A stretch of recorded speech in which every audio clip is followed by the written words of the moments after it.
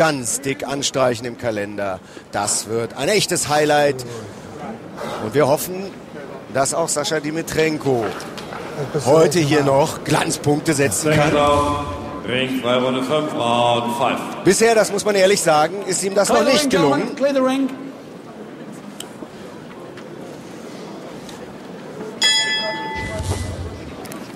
Okay, let's go. In der fünften Runde sollten beide Boxer sich wieder auf das boxerische Handwerk besinnen.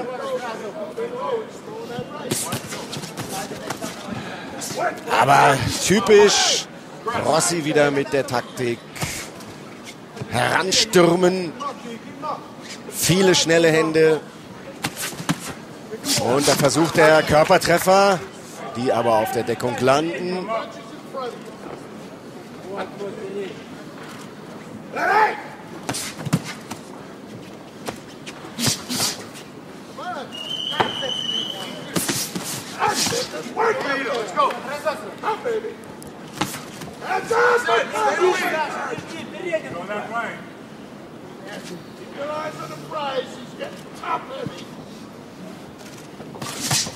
Ja, das war jetzt mal ein harter Treffer. Da ist Rossi quasi in die Faust von Dimitrenko hineingelaufen und die, die hat schon Musik. Gar keine Frage, dass der back. zwei Meter Mann aus der Ukraine Schlagkraft besitzt.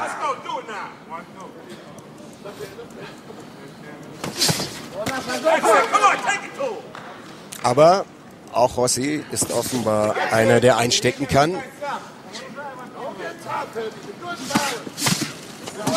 Er versucht es wieder mit Körpertreffern. Break, back.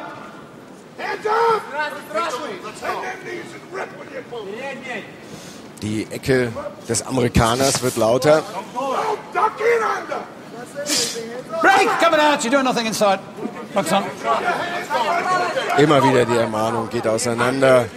Hier macht er eh nichts im? Infight. Und jetzt die Ermahnung auch. Und in diesem Moment, in dem sich Thomas mit der Ringecke beschäftigt, da wird er erwischt. Derek Rossi. Das war natürlich eine verrückte Situation. Jetzt muss Dimitrenko die Aggressivität abrufen. Und das tut er. Rossi nutzt die Zeit. Eine verrückte Wende in dieser fünften Runde. Und jetzt wird es ganz eng für die Faust des Shaolin, der hier voll getroffen wird. Einmal, zweimal, dreimal in der Ecke, hilflos steht und im Moment verteidigungsunfähig scheint. Und Paul Thomas macht der Angelegenheit hier ein Ende. Aber es gibt hier noch ein Nachwort. Wir müssen die ganze Szenerie hier aufklären. Denn in dem Moment, als sich Paul Thomas, wir sehen hier eine glückliche Ehefrau, junge Ehefrau, Ivana von Sascha Dimitrenko. Und wir haben hier eine tolle Rolle rückwärts auch erlebt. Die bekommen Sie sicherlich gleich nochmal eingespielt. Aber noch einmal, Thomas wollte mitten im Kampf die Ecke des Amerikaners disziplinieren.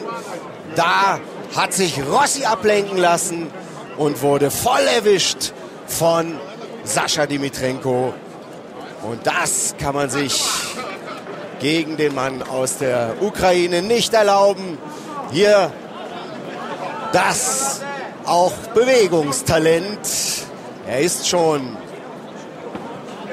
ein ausgebildeter Körper. Einer, dem Fritz Dunek die Beweglichkeit geradezu, na, ich will nicht sagen, eingeprügelt hat. Jetzt schauen wir hier nochmal. Es ist eher die Summe dieser drei Treffer als der eine. Der ging übrigens wieder auf das Ohr.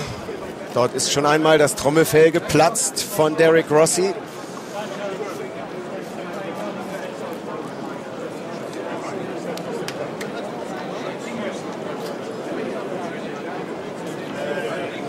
Aber Sascha Dimitrenko macht vor allen Dingen hier alles richtig.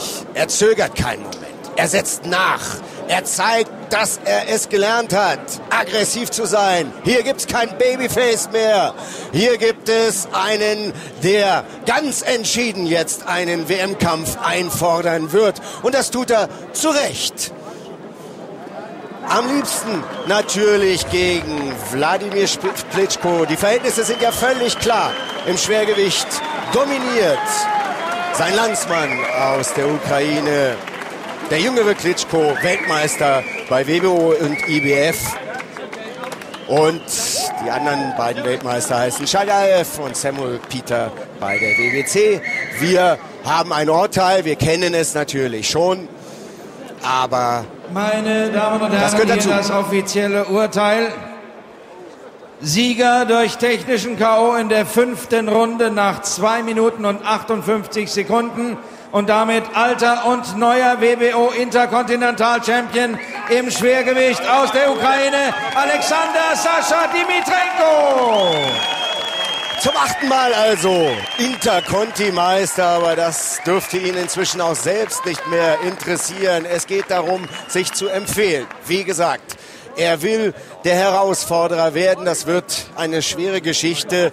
Tony Thompson ist der nächste Gegner von Wladimir Klitschko. Am 12. Juni in Hamburg steigt dieses Gefecht und dann, ja, dann wäre er eigentlich dran, aber da gibt's noch einen, der dazwischen steht, Alexander Povetkin, denn das ist der Herausforderer der IBF und auch dort tritt Wladimir Klitschko den Gürtel. Er hat ihn weiter in seiner Hand diesen internationalen Meisterschaftsgürtel. Aber seien wir ehrlich, das ist nichts Richtiges und das ist auch nicht der Anspruch des 25-jährigen Ukrainers, der sich inzwischen so zu Hause fühlt, vielleicht wie es die Klitschkos nie getan haben, in Hamburg, wie gesagt, mit seiner jungen Frau aus Stuttgart. Inzwischen spricht Alexander Dimitrenko exzellentes Deutsch man merkt, dass er ein studierter Mann aus Kiew ist, stammt übrigens von der Halbinsel Krim, wo auch die Mutter noch lebt und wo er seine Wurzeln hat. Aber in Kiew, da studiert er, da hat er gelebt, bevor er aus Deutschland gekommen ist. Dort will er sein Jurastudium jetzt beenden, zum Notar aufsteigen, aber vor allen Dingen zum Weltmeister will er aufsteigen und mit dieser Demonstration boxerischer Stärke ist das natürlich alles möglich. Die Türen stehen offen für Alexander Dimitrenko.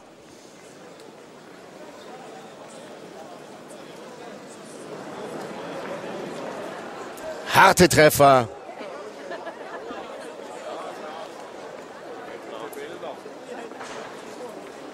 Immer wieder auch die Kombinationen mit denen er versucht zum Ziel zu kommen. Da war allerdings Rossi schon kampfunfähig. Und jetzt hat er schon einen etwas anderen Ausdruck im Gesicht.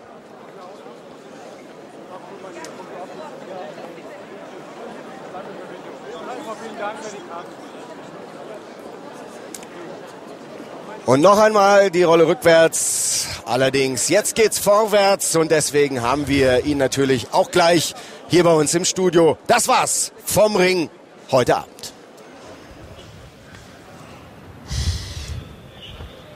Ja, wir haben den Champion hier im Ring, Sascha Dimitrenko. Herzlichen Glückwunsch, auch Fritz Dudig, der Trainer ist da. Äh, Sascha, wie haben Sie den Kampf gesehen? Äh, wie zufrieden sind Sie mit dem Ausgang?